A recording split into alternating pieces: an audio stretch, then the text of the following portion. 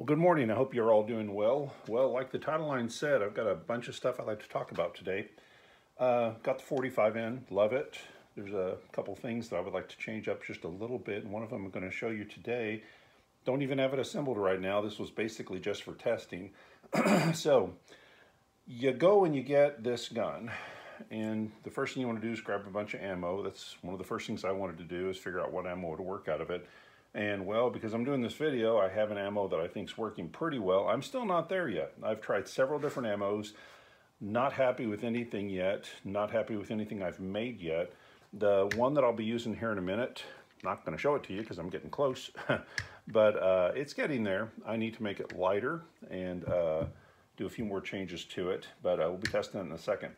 Uh, one of the first things I wanted to do was put a Donny FL suppressor on it, but here's the problem when you got a Donny FL suppressor and you remove the uh, flash hider and the nut off the end of the barrel so you have access to it, you run into the first little hitch, and that is the uh, air tank is long enough that the suppressor can't go on. So first thing I needed to do was uh, make an adapter.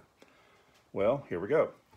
Uh, this time yesterday, this was a chunk of six millimeter rifle barrel good high quality stainless steel. Uh, now it is an adapter, uh, as you can see there.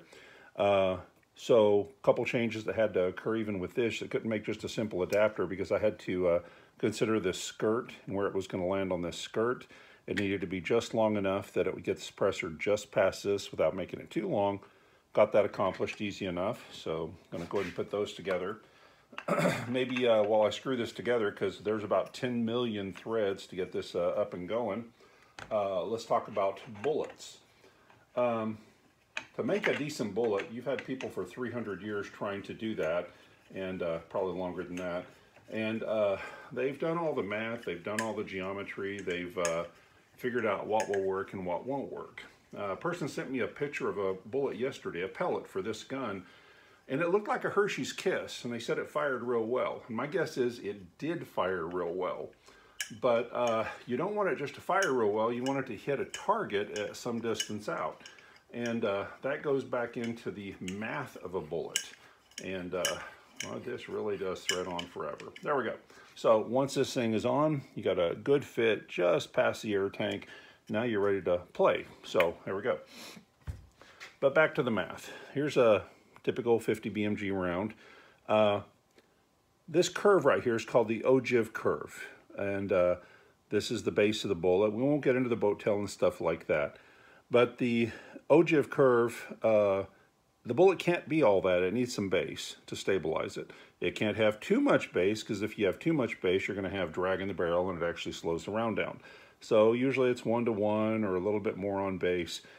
Uh, then you take the actual thing that you're firing out of, the pressure that it has, what it's trying to accomplish. Some people are going to be out there trying to rapid fire six rounds really, really quick. Uh, you have to consider that with the bullet. And I'm leaning towards the idea that the bullet or pellet's going to have to be round nosed and even lighter than what I've got inside this magazine. Um, uh, if I had to guess, it's going to be 175 grain or less. That's the direction I'm heading in. So the one I'm testing today is not my finished product, but I'm going in that general direction.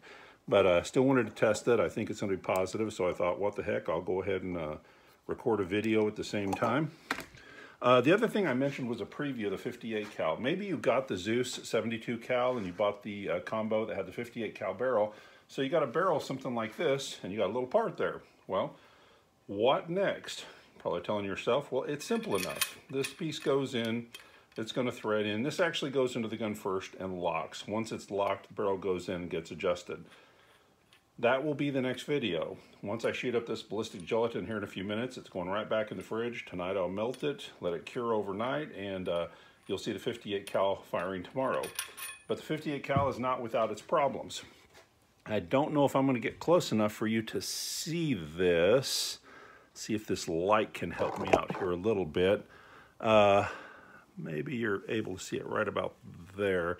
This has got rifling right up to the end. You don't do that. you have a relief in there, half an inch, three quarter inch, depending on what the bullet or pellet is, uh, uh, for the round of seat. This is rifling right up to the end.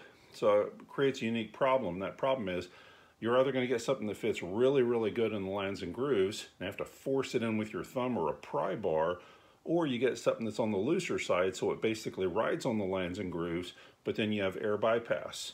Uh, what I've worked on, grab one here, is four or five different uh, pellets, each one getting thinner and thinner on the skirt, the back skirt of the bullet, or pellet, however you want to call it, where when the air hits it, it forces the skirt into the lands and grooves, and at that point, you have all the air in behind it. You don't have air escaping around it. If any air escapes around it, you're losing power. Tomorrow, this will hit the ballistic gelatin and probably a container of water or something because I don't want to mess it up in the process. When I get done, what I'm hoping to see are perfect little lands and grooves on this pellet. If it happens that way, awesome. If not, back to the drawing board. What I have found is if you have the 58 cal, uh, 575 fits in kind of loose. I'm thinking that a perfect number is going to be about a 578 or so. But again, you get a 578, 579, you're really forcing it in. So back to today's task, which is firing this uh, S45 into ballistic gelatin with these new uh, pellets, maybe digging a few out, see what they look like. Um, the last thing I would touch on is if somebody's playing a practical joke at the uh, corporate side, I would love to know. I was a mechanic and then a trainer and then a master tech for uh, 30 years.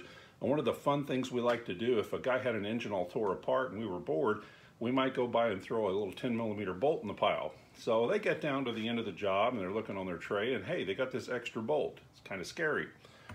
Anyway, so I get this uh, S45, I get it out of the box, I look at everything, and I've got this little bitty extra screw in there, and I'm hoping it's just extra, because if not, I don't have a clue what it goes to. So anyway, I got an S45, I got it charged. I'm going to get the magazine in. Got the suppressor on, so none of the neighbors will be calling the police. And Oh, and uh, safety off. Okay, this is normally the time you hear a boom. Fire.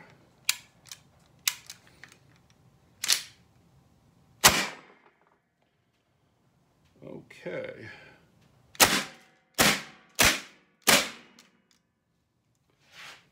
Folks, I cannot tell you what happened with that first shot. That's a little bit scary. Uh, I can tell you something happened.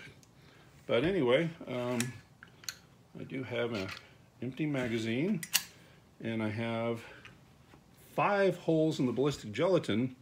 So one of those holes fired two. Now the pathways through look awesome as you can see there, got some beautiful little pathways. Uh, one, two, three, four, five. This one looks a little bit odd. It's kind of puffed out. I'm guessing two pellets went down through that hole. Uh, it was able to do it, did it just fine. At the other end, I had a uh, computer. This is how I get rid of my old computers. And uh, looks real good, flattened out real nice. Did a pretty good job there. That one hit the uh, steel at an angle, tore it up pretty good.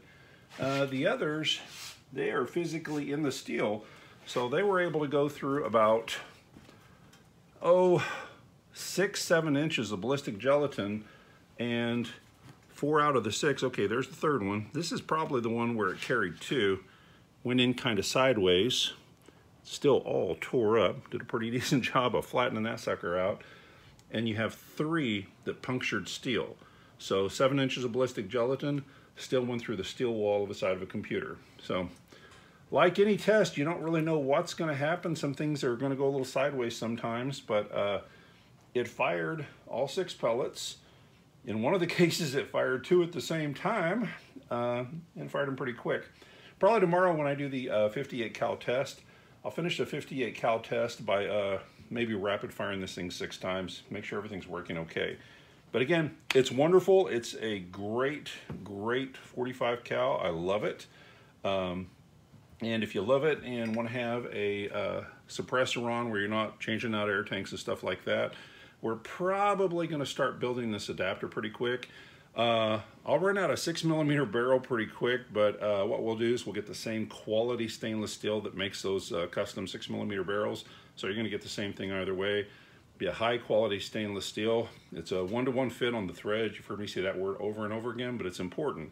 If you screw something on and it's about halfway on and you can take it and wiggle it back and forth, that's a problem.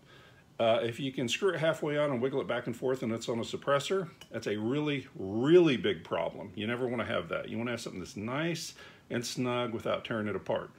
Then you got uh, uh, the metal to aluminum contact.